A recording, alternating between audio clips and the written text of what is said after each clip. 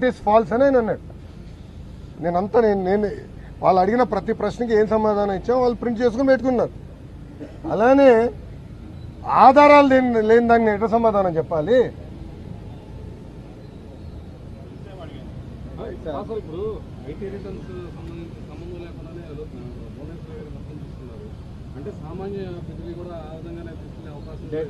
గ్యారంటీగా ఇక్కడ ఉన్న మీడియా మిత్రులు ఐటీ రిటర్న్స్ కూడా ఈ సైకో జగన్ చేతుల్లో ఉండుంటుంది. అలా ఉంది పరిస్థితి. అంటే నేను ఇప్పుడు భ్రమణికి డబ్బులు ట్రాన్స్ఫర్ చేశా.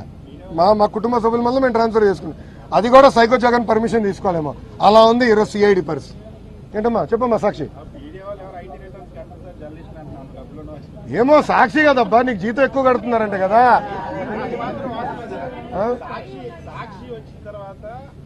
మీ జీతాలు పెరిగిందా లేదో చెప్పు. చెప్పమ్మా ఇంకా. Next one second brother brother అది అనొద్దమ్మా.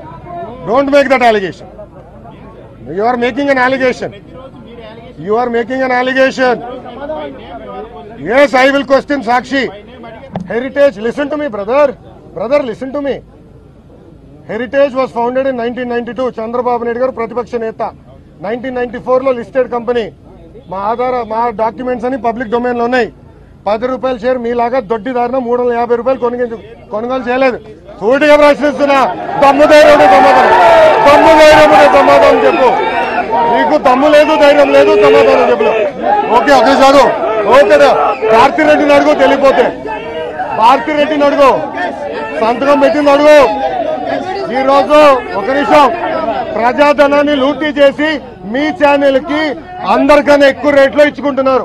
It is a fact it is a fact it is a fact వాలంటీర్కి Jio issue చేసి జియో ఇష్యూ చేసి వాలంటీర్లు సాక్షి పేపర్ కొనాలి. వాలంటీర్లు సాక్షి పేపర్ కొనాలని చెప్పారు.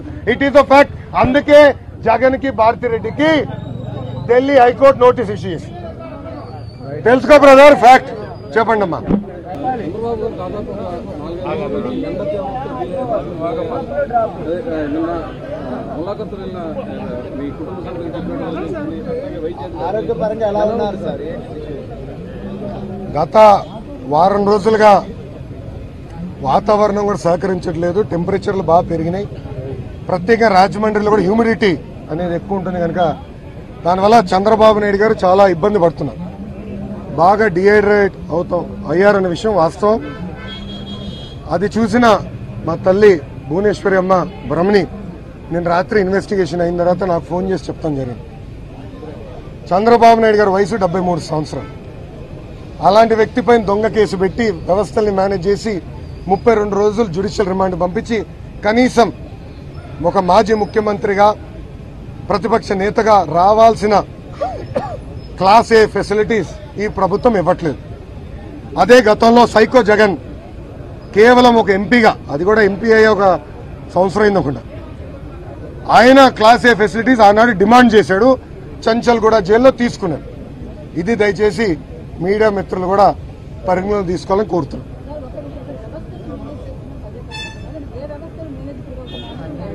అన్ని వ్యవస్థలు మేనేజ్ చేస్తున్నారు. ఆల్ వ్యవస్థలు అన్ని వ్యవస్థల్ని ఈ ప్రభుత్వం మేనేజ్ చేస్తుంది. ఏమ్మా? సాక్షి. థ్యాంక్ యూ అమ్మా.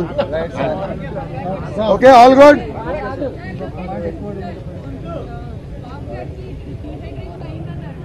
ఎస్ అమ్మా. అధికారులమ్మా? అది I'm not privy to the discussion తల్లి. ఎందుకంటే నిన్న నేను ములాఖాత్కి వెళ్ళలేదు. నేను ఇక్కడ సిఐడి వాళ్ళు రమ్మన్నారు కనుక ఈ పనిలో ఉన్నాను. బాబు గారిని చూసిన తర్వాత అమ్మవుతే బాధపడింది. ఎందుకంటే కొంచెం ముఖం అంతా పీ పీల్ పీలుకుపోయింది పీల్చు చాలా ఇబ్బంది పడ్డారు అమ్మ. ముఖం చాలా చిన్నగా అయిందని కూడా చెప్తాం జరిగింది. ప్రజలందరూ కూడా ఆలోచించారు. డెబ్బై మూడు సంవత్సరాల వయసు నలభై ఐదు సంవత్సరాలు ఆంధ్ర రాష్ట్ర రాజకీయాలు ఉన్న వ్యక్తి చంద్రబాబు నాయుడు గారు. చివరికి స్కిల్ డెవలప్మెంట్లో ఇరవై ఏడు కోట్ల అవినీతి జరిగింది. అది కూడా ఆయనకి రాలేదు పార్టీకి వెళ్ళినాయి బాండ్ల ద్వారా వెళ్ళినాయో దేని ద్వారా వెళ్ళినాయని ఆరోపణ చేసే పరిస్థితికి వచ్చింది. ప్రజలందరూ మళ్ళీ ఆలోచించాలి. నలభై ఐదు సంవత్సరాలు మీ అందరి ఆశీస్సులతో మీకోసం సేవ చేసినందుక ఈ శిక్ష. మన పిల్లల కోసం సైబరాబాద్ కట్టినందుక ఈ శిక్ష. రాయలసీమకి కియా ఫాక్స్కాన్ టీసీఎల్ లాంటి పరిశ్రమలు తీసుకొచ్చినందుకు ఈ శిక్షణ. ఉభయ గోదావరి జిల్లాలో ఫిషరీస్ని పెద్ద ఎత్తున ప్రోత్సహించినందుకు ఈ శిక్షణ.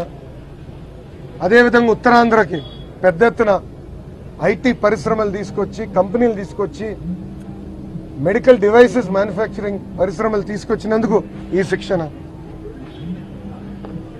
ఇట్లా నలభై సంవత్సరాలు ఒక చిత్తశుద్ధితో నిరంతరం ప్రజల కోసం ప్రజల గురించి ఆలోచించే వ్యక్తిని ఈరోజు వ్యవస్థల్ని మేనేజ్ చేసి ఆయనకి రావాల్సిన కనీస ఫెసిలిటీస్